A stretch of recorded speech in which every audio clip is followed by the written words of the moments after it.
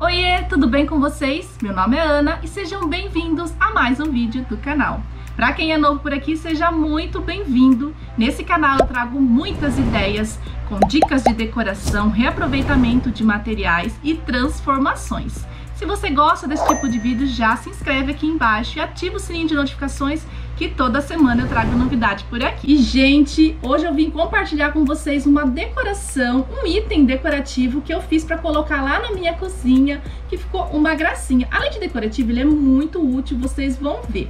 E aproveitei também, fiz uma organização, decorei a bancada da minha pia ali da cozinha e vou compartilhar com vocês. Eu sei que vocês gostam, vocês sempre pedem para eu mostrar um pouco mais a bancada lá da cozinha, então o vídeo de hoje vai estar tá super legal. Mas antes de começarmos o vídeo, eu quero deixar um recadinho aqui para as minhas inscritas que é dona de casa, tem criança pequena e quer trabalhar, mas sem sair de casa, ter um lucro extra tem um link logo aqui abaixo na descrição desse vídeo e esse link é para você. Clique lá para você saber mais. Então, gente, sem mais delongas, bora lá pro vídeo.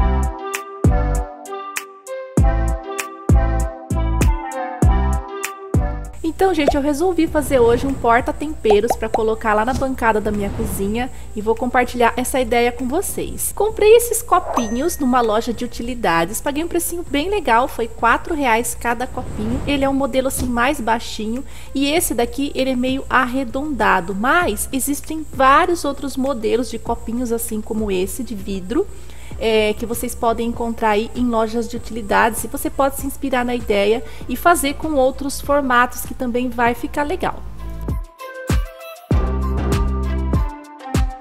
Vou utilizar esse pedaço de madeira pinos que eu tinha por aqui para fazer as tampinhas. Se você não tiver uma madeira assim por aí, você pode utilizar até uma tábua de carne para fazer as tampinhas que vai dar certo. Então eu tirei a medida ali da boca dos meus copinhos, né? Tirei três medidas iguais para cortar e fazer as tampinhas.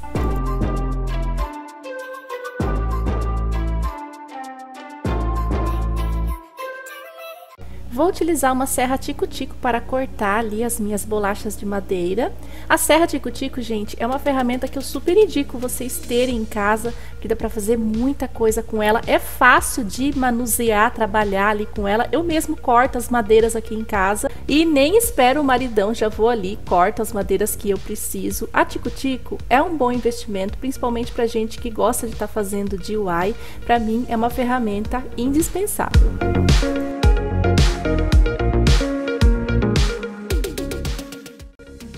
Então, depois de cortar as minhas três bolachas de madeira, eu vou lixar para deixá-las bem certinha, bem redondinha, dar um bom acabamento. Para isso, eu utilizei a lixadeira, mas esse processo pode ser feito também com uma lixa de mão, que dá certo. A madeira pinos é bem molinha, então é fácil de lixar.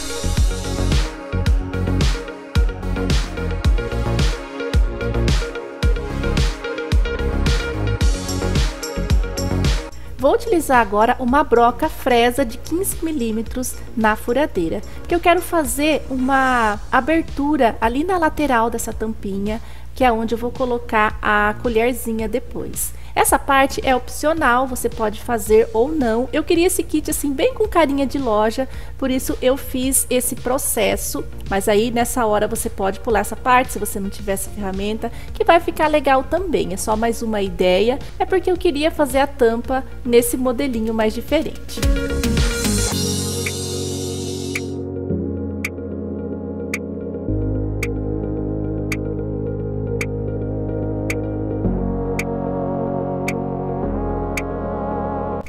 depois de lixar ali aquela parte para dar um melhor acabamento, elas ficaram assim, olha que lindinhas, gente.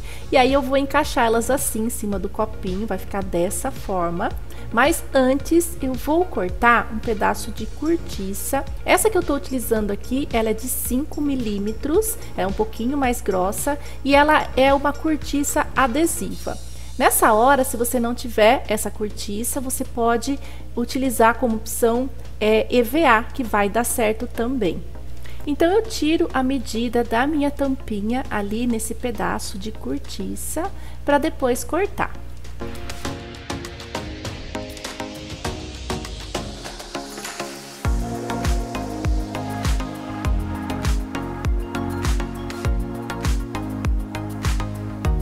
Eu corto um pouco para dentro daquela marcação que eu fiz da tampinha, porque ela tem que ficar menor do que a tampinha de madeira, para ela poder encaixar dentro do copinho. Então, vocês se atentem a hora de cortar, cortar sempre um pouco para dentro da marcação, que aí ela vai ficar bem certinha no tamanho.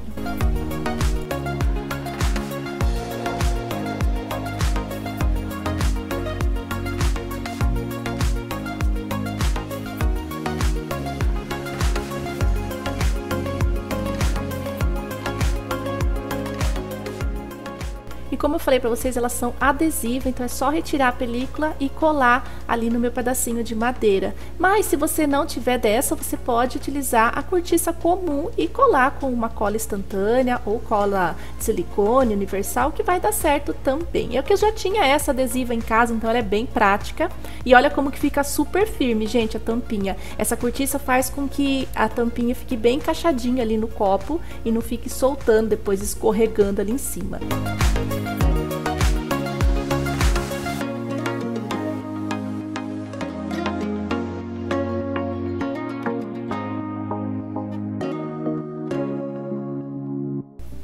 Coloquei esses puxadores de madeira bem pequenininhos ali na tampa, colei com cola instantânea, mas você pode também aparafusar, que vai ficar muito bom. É, esses puxadores vocês podem encontrar em algumas lojas que vendem produtos para artesanato, lojas de utilidades, eles são bem baratinhos e olha que charme que ficou aí nas tampinhas.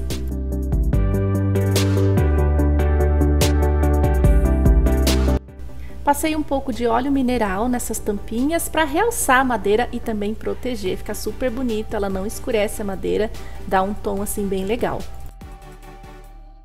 Vou fazer a etiqueta direto no copinho e vou utilizar um stencil, esse daqui com tema de condimentos. Esse daqui é da marca Opa Criando Arte. Eu vou deixar a referência dele aqui embaixo na descrição do vídeo. E para a tinta fixar bem aí nesse copo de vidro, eu vou utilizar tinta PVA, misturo um pouquinho com o primer. Misturo ali metade de cada e já aplico ali no meu stencil com o pincel pituá, dando leves batidinhas e fica perfeito, viu gente? Pode lavar depois que não vai sair, porque o primer faz com que essa tinta fixe aí nesse copo de vidro.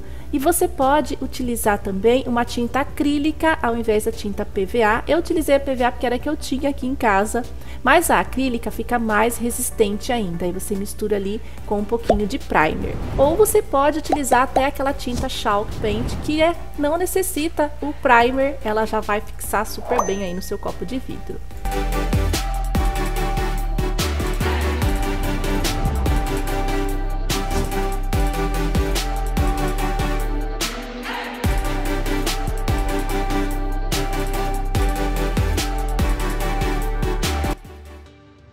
O legal desse stencil é que ele também vem com o desenho ali da etiqueta.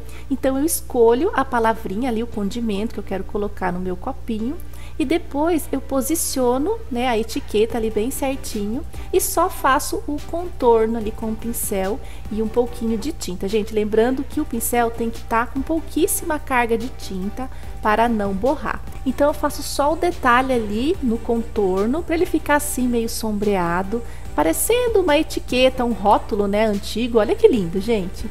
E lembrando que você pode fazer com outras cores. Eu escolhi o branco. Aí no vídeo parece que ele fica meio apagadinho, mas com um condimento dentro, gente, vai ficar coisa mais linda. E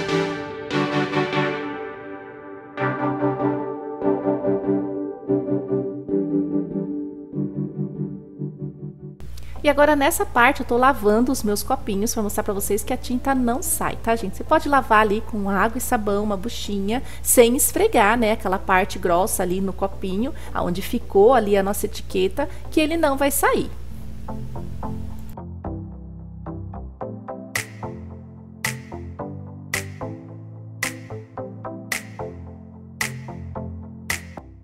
Ficaram prontos, gente, os meus porta-condimentos super lindos com carinha de loja, até parece que eu comprei, né? Eu tava pesquisando esses dias na internet um kit muito parecido com esse e, gente, sério, era mais de 150 reais e eu não gastei nem 15 reais para montar esse kitzinho aí super bonitinho.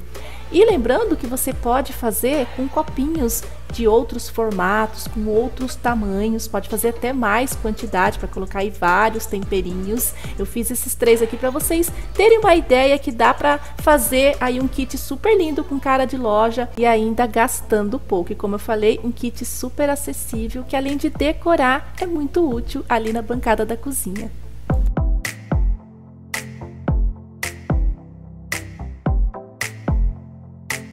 E temos um kit novo com cara de loja nessa bancada. Gente, hoje eu vou mostrar um pouquinho da organização e decoração aqui da minha cozinha. Muitos me pedem, tanto aqui quanto lá no Instagram, para que eu mostre um pouquinho mais como eu organizo as coisinhas aqui na minha cozinha. Então, bora lá?